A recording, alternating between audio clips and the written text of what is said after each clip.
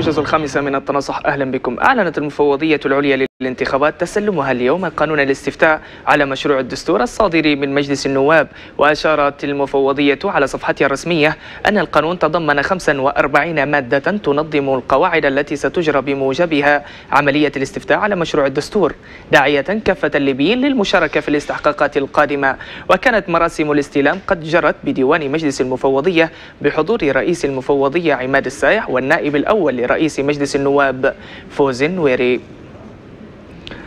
انطلق اليوم الخميس الاجتماع الوزاري لدول جوار ليبيا في العاصمة السودانية الخرطوم وذلك لبحث مستجدات الوضع في ليبيا. وتعقد المحادثات في إطار الاجتماعات الوزارية الدورية لتنسيق المواقف والسعي إلى تسوية سياسية للأزمة الليبية. ويرأس الاجتماع وزير الخارجية السوداني الدرديري محمد أحمد. وبحضور المبعوث الأممي غسان سلامة إلى جانب وزراء خارجية ليبيا وتشاد والجزائر وتونس. بالإضافة إلى كبار مندوبي الجامعة العربية والاتحاد الإفريقي والمبعوثين الفرنسي والإيطالي. دعت ممثلة الاتحاد الإفريقي إلى ليبيا أمير الفاضل إلى تضافر الجهود على المستويين الأفريقي والدولي لتنظيم مؤتمر ليبي جامع للسلم والتصالح.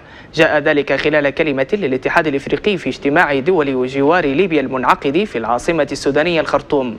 وأضافت الفاضل أن مهام المؤتمر تشكيل حكومة انتقالية جديدة ووضع خارطة طريق محكمة لتنظيم انتخابات رئاسية وبرلمانية بعيدا عن الإقصاء بشراكة مع الاتحاد الإفريقي والأمم المتحدة وبالتعاون مع الجامعة العربية والاتحاد الأوروبي.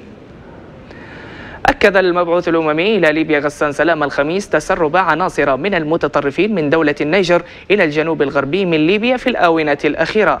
جاء ذلك في كلمته خلال الجلسة الافتتاحية لاجتماع وزراء خارجية دول جوار ليبيا المنعقد بالعاصمة السودانية الخرطوم وأعرب عن قلقه من المعلومات الواردة حول تورط المجموعات القادمة من النيجر في العمليتين الإرهابيتين. اللتين وقعتا ببلديتي الفقهة وتزربو دون ذكر تفاصيل إضافية. وأوضح سلامة أن المشاكل التي ضربت الهلال النفطي أخيرا واشتباكات طرابلس الأخيرة تستوجب وقوف إطلاق النار والحماية المدنيين والتوصل إلى وقف إطلاق النار لتعزيز وحدة المؤسسات الليبية وفق تعبيره.